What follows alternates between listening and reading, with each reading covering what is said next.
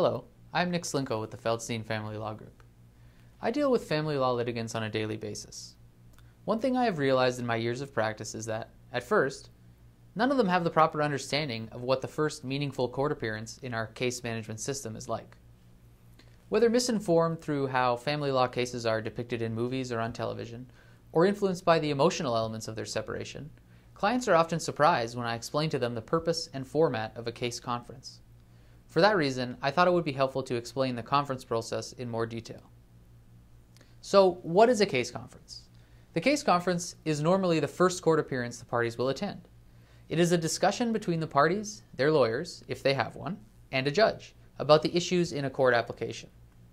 Why do we have case conferences? Well, the overarching idea is that if the parties start off by discussing their issues, they will be more successful in coming to a faster and less expensive resolution to their court application. What is discussed at a case conference? Well, exploring settlement, identifying what the parties can agree upon, ensuring disclosure of evidence, discussing the next steps, discussing whether any experts are needed, and discussing whether any motions are needed.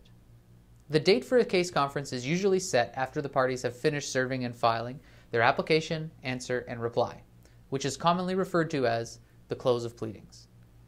At this time, the parties know their respective positions on all the issues, and they can start working towards resolving those issues. It is also a good idea for the parties to exchange their financial disclosure prior to the case conference so that they can have full and frank discussions about the financial issues at the case conference.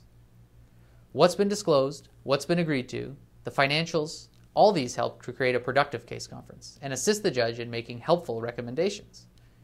It is often on the recommendations of the judge at the case conference that the parties will settle their issues.